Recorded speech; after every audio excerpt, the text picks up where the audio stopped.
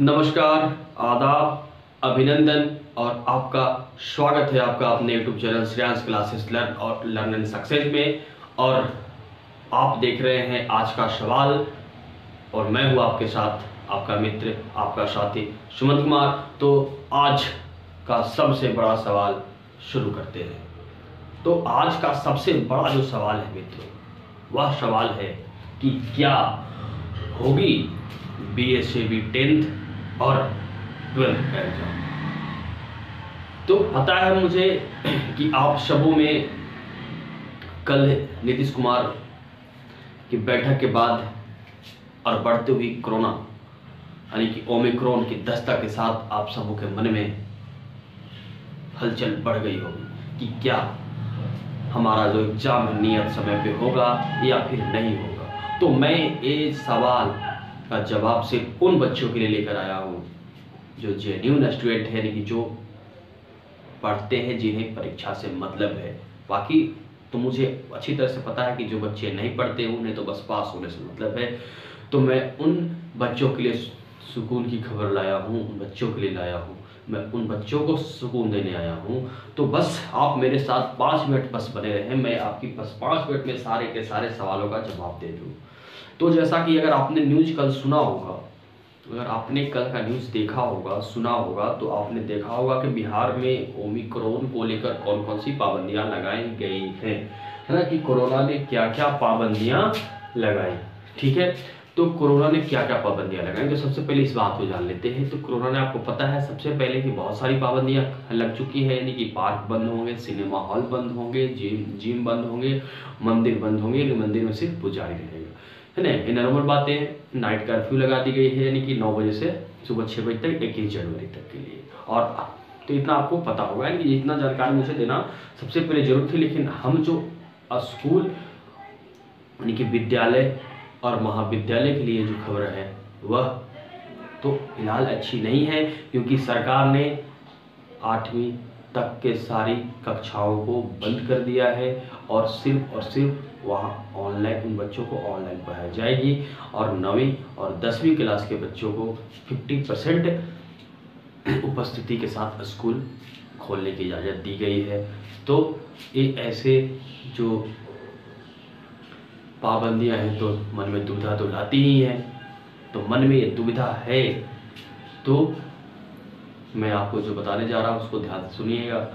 है ना? मैं ये जो जवाब देने जा रहा हूँ, बिल्कुल ही प्रमाणित स्रोत के आधार पर देने जा रहा हूँ कि क्या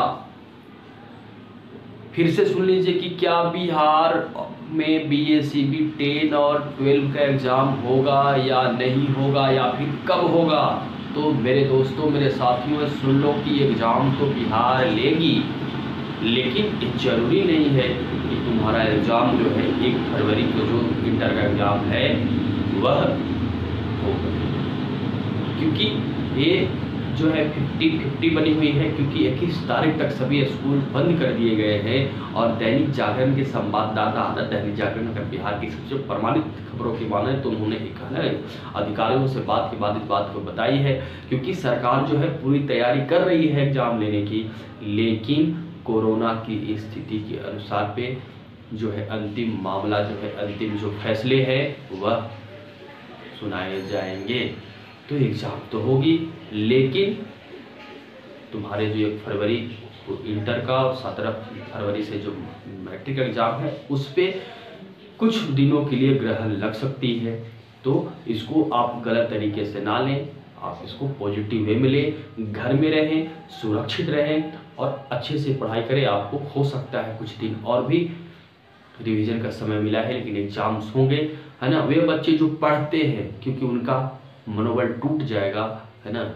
इस कारण से मैं बताने आया हूँ कि वे आप पढ़ाई करें, मन से पढ़ाई करें, ढंग से पढ़ाई करें खूब जी जान से रिविजन करें, आपका एग्ज़ाम होगा, भले ही कुछ देर हो जाए। क्योंकि अभी भी उम्मीद है फिफ्टी परसेंट की उस डेट पे एग्ज़ाम हो, यानी कि मामले, क्योंकि लगातार देख रहे हैं आप कि कोरोना के बूस्टर लगाए जा रहे हैं, है ना? और इस ओमिक्रोन की सबसे बड़ी अच्छी बात है, लेकिन जो सामने हम नहीं बता रहे हैं, लेकिन सरकार ने बताई है, यानी कि विशेषज्ञों ने बताई है कि ये ओमिक्रोन जो है डेल्टा वायरस के मुकाबले थोड़ा सा कम एक्टिव है, क्योंकि उसमें लोगों की ऑक्सीजन की ज़रूरत पड़ रही थी, यानी उनके फेफड़े प्रभावित हो रहे थे, लेकिन इसमें फेफड़े प्रभावित नहीं हो रहे हैं, यानी कि जो जो पेशेंट है, वह जल्दी से रिकवरी कर पा रहा है और इसलिए अच्छी खबर है कि हो, इस पर कंट्रोल किया जा सकता है। लेकिन सरकार लगातार जाँच कर रही है और बूस्टर लगवाया जा रहा है, जिस कारण से इस पर कंट्रोल पाया जा सकता है। तो इसलिए फिफ्टी परसेंट की उम्मीद है कि आपका समय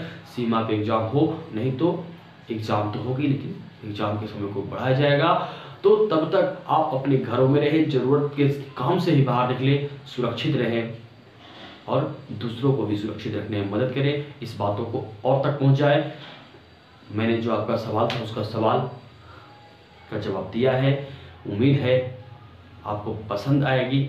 अगर पसंद आए तो मेरे चैनल को सब्सक्राइब करना, लाइक करना और आगे अपने दोस्तों के साथ शेयर करना, क्योंकि मैं इस तरह से हर छोटी से छोटी अपडेट आप तक पहुंचाते रहूँ।